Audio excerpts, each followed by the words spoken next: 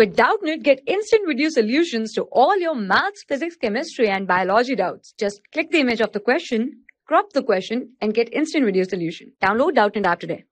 Hello everyone, let's start the question. So the question says that four electrons produced during photolysis of water will enter photosystem 1 PQ, photosystem 2 PC. Okay, so if we talk about photolysis of water, so photolysis of water in the light reaction of photosynthesis occur in the water splitting complex of photosystem 2. Okay, so photosystem 2 in the thylakoid membrane of chloroplast where light is used to split the water molecule. So we can write the reaction of photolysis of water. Okay. So this is the reaction of photolysis of water. Okay. So as we can see that oxygen is liberated in the photolysis of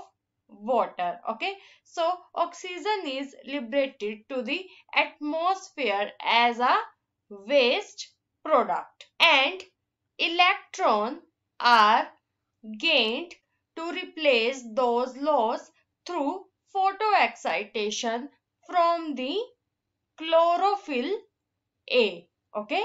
In the reaction. Center of photosystem 2 which will begin a non-cyclic photophosphorylation.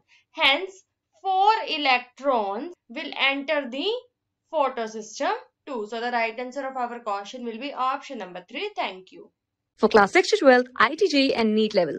Trusted by more than 5 crore students. Download Doubtnut app today.